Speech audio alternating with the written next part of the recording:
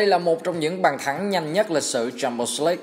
AC Milan chỉ cần 24 giây để có thể làm tung lưới câu lạc bộ hùng mạnh Barcelona. Tác giả của bàn thắng này nhận bóng vào giây thứ 18 từ vạch giữa sân, đồng nghĩa anh chỉ có 6 giây để đi bóng và ghi bàn. Giờ đây, những bàn thắng như thế này, bạn chỉ còn có thể nhìn thấy anh ấy thực hiện trên những thước phim. Vì cầu thủ đó đã không còn là chính mình, sớm đánh mất sự nghiệp giống như bao siêu sao người Brazil khác. I wonder how, I wonder why. Yesterday you told me about the blue, blue sky and all that I can see. Alexandre Rodriguez da Silva ở quê nhà lúc còn nhỏ, anh còn có biệt danh là vịt con, trong tiếng Bồ Đào Nha là Pato. Hơn nữa, đó cũng là tên của thành phố mà nơi cầu thủ này chào đời, Pato Branco. Nên từ đó, nhiều người đã gọi tên anh là Alexandre Pato và cho đến sau này, nó cũng giống như biệt danh Kaka của Ricardo Jackson dos Santos Lete hay Chicharito của Javier Hernandez. Lên 10 tuổi, Pato đã bị gãy cánh tay hai lần ở cùng một chỗ. Khi đó, anh được phát hiện có một khối u trong người. Do gia đình khó khăn và không đủ kinh phí điều trị, nên suýt chút nữa, anh đã phải cắt bỏ cánh tay đó. Nhưng bác sĩ Paulo Roberto Musi, một người bạn của gia đình đã bảo trợ toàn bộ chi phí phẫu thuật cho vịt con. Cũng giống như Neymar hay Robinho, thành danh khi còn quá trẻ tại quê nhà đã khiến Pato được truyền thông và người hâm mộ gắn cho cái mát thần đồng. Khi mới 16 tuổi, anh đã là tiền đạo số 1 tại đội U20 của câu lạc bộ Internacional và giúp câu lạc bộ này giành chức vô địch quốc gia trẻ của Brazil. Tiền đạo áo số 9 là cầu thủ nhỏ nhất đội, dù phải đá với những đàn anh toàn 19-20 tuổi, nhưng Pato mới là vua phá lưới, giúp cho các đàn anh lên ngôi vô địch. Và một năm sau, Pato nhanh chóng tăng tốc, vượt mặt các đàn anh khi trở thành thành viên tại đội 1 của câu lạc bộ Internacional. 17 tuổi, anh đã là sự lựa chọn số 1 trên hàng công của câu lạc bộ Brazil khi họ đến tham dự cúp thế giới các câu lạc bộ tại Nhật Bản vào năm 2006. Và đây là bàn thắng của Pato, ghi vào lưới của câu lạc bộ Al Ali tại giải năm đó. Khi ghi bàn, anh chỉ mới 17 tuổi 102 ngày, trở thành cầu thủ trẻ nhất lịch sử ghi bàn tại giải đấu này. Không chỉ có vậy, Pato còn phá luôn kỷ lục của vua bóng đá Pele khi là cầu thủ trẻ nhất ghi bàn trong hệ thống giải đấu chính thức của FIFA. Kỷ lục cũ của Pele là 17 tuổi 239 ngày khi ông sút tung lưới xứ Wales tại World Cup 58. Vịt con đều ra sân ngay từ đầu trong tất cả các trận đấu tại kỳ FIFA Club World Cup này của International. Vào đến chung kết, họ phải gặp câu lạc bộ hùng mạnh nhất thế giới lúc đó, Barcelona, và đoạt luôn chiếc vô địch. Một tương lai rực sáng đã bắt đầu mở ra với Pato. Anh cùng với câu lạc bộ trở về Brazil và chinh phục thành công chiếc vô địch Recopa Sudamericana. Từ đó, tên tuổi của tiền đạo trẻ chưa đầy 18 tuổi đã lan khắp châu Âu. Năm 2007, nhà đương kim vô địch châu Âu AC Milan đã quyết định mang vịt con về San Siro với mức phí 24 triệu euro. Phải đến năm 2008, anh mới có giấy lao động hợp pháp tại nước Ý. Pato chính thức ra mắt tại Rossoneri đúng một ngày sau sinh nhật lần thứ 18. Trong lần đầu được ra sân tại Serie A, sát cánh cùng với thần tượng huyền thoại Ronaldo và đàn anh Kaká, Alessandro Pato đã đóng góp một bàn thắng trong chiến thắng 5-2 của Milan trước Napoli, mở ra một tương lai đầy hứa hẹn của anh tại châu Âu.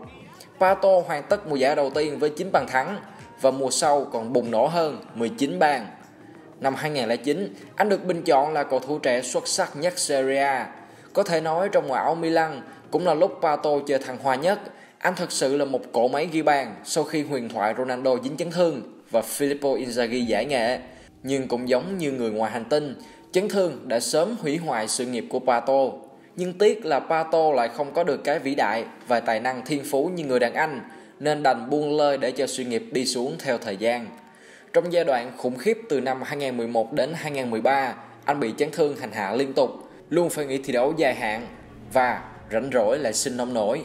Thay vì chuyên tâm tập luyện để trở lại, Pato liên tục tham gia những cuộc nhậu nhẹt chơi bời thâu đêm, bia rượu, gái gú, sớm giết chết tài năng và cả hạnh phúc bên ngoài sân cỏ của Pato.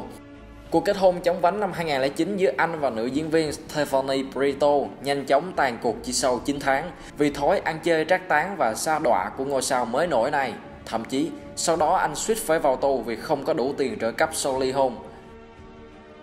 Một thời gian sau, anh qua lại với nữ giám đốc của câu lạc bộ AC Milan Barbara Berlusconi, con gái của chủ tịch Silvio, và mối tình này cũng sớm kết thúc trong 2 năm rưỡi.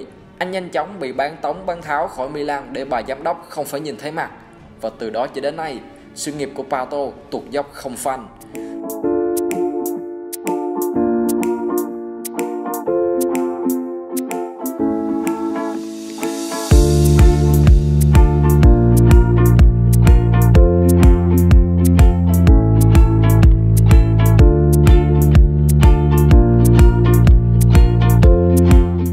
Trở về Brazil thi đấu cho Corinthians, sau lại bị đem đi cho mượn đến Sao Paulo, rồi Chelsea, nhưng cũng không khá hơn.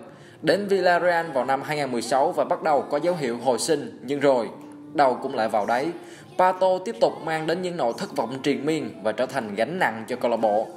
Villarreal nhanh chóng thanh lý anh cho câu lạc bộ của Trung Quốc, Thiên Tân của Anjian chỉ sau một mùa. Nhưng giờ đây tại Trung Quốc, cái tên Pato chỉ còn mang danh nghĩa thương mại anh giúp câu lạc bộ này mang về tiền từ những hợp đồng quảng cáo, hình ảnh nhiều hơn là tài năng hay những bàn thắng trên sân cỏ. Sự nghiệp của Pato là vậy đó. Bạn sẽ dễ nhận thấy một điểm chung nào đó giữa anh với Adriano hay Robinho. Họ đều là những thiên tài, những cầu thủ hàng đầu, được hàng triệu người trên thế giới ngưỡng mộ. Và Thượng Đế cũng đã ưu ái ban cho họ tài năng chơi bóng. Nhưng rồi, chính những bản tính cá nhân, sự ý lại, tự mãn quá sớm với những gì mình đã đạt được hay có thể là do số phận đã lấy lại những thứ tuyệt vời mà họ có.